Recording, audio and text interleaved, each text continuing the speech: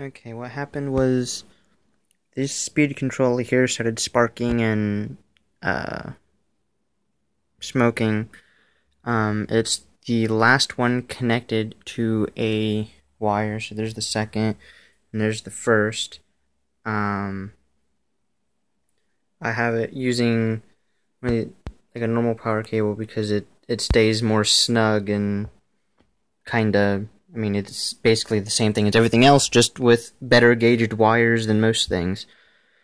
Um, it's all routed in. I went and plugged it in. I had transmitter up like this so it could, you know, calibrate. And before, or I should say, at the moment I plugged it in, these two beeped. This one didn't do anything.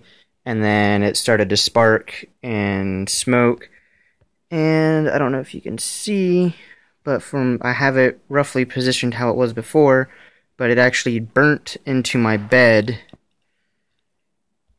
and melted there and the burn from was smoky and now my bed smells like you know burnt smoke burnt electronics.